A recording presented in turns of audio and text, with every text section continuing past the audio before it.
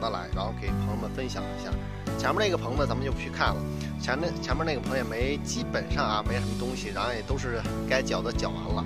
呃，剩下这一些呢，估计还能差不多啊，百十颗吧，能给朋友们分享百十颗的样子啊。当然得看品种，有的品种少的呢，小蒋就自然而然的就要留苗子了啊。所以说这呢，呃，有些品种，呃，朋友们喜欢，呃，但是。没有的话，也只能等到明年了啊。然后小蒋这里呢，明年等这些苗子留苗子之后，然后咱们苗子小苗啊，菊花小苗长成之后啊，然后小蒋呢也会在呃咱们线上啊，然后给朋友们分享一下，嗯，也是不错的啊。看我手上这颗花，这朵花就是我面前这一片啊。然后它们虽然说开的没有手上这朵大，是因为它们还没有开开啊，还没有开开。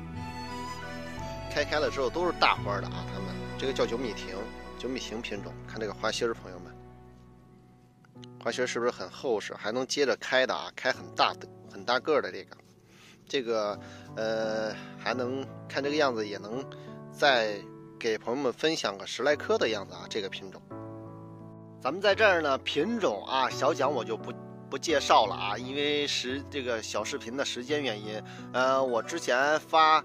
拍了一期，就是一大期啊，分为好些小段儿。呃，这个品种的这个介绍啊，朋友们可以去呃小蒋这里去看一看啊。然后咱们从那里边呃接收到这些信息，然后咱们朋友呢来选择要什么样的品种啊。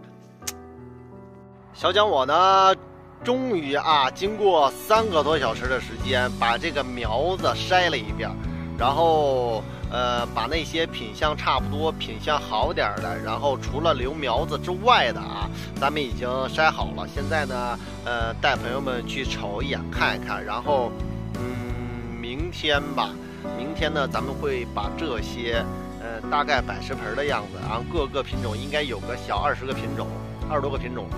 然后咱们上架到咱们。呃，小蒋的这个某宝店铺里边，然后咱们供朋友们去选择啊，去那个什么，呃，看一眼吧。就像这一些啊，朋友们。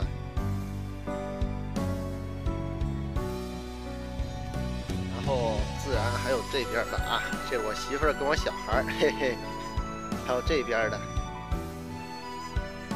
这边哎，挑出来这些。呃，除了留苗子之外啊，这些是还能跟朋友们分享的这些。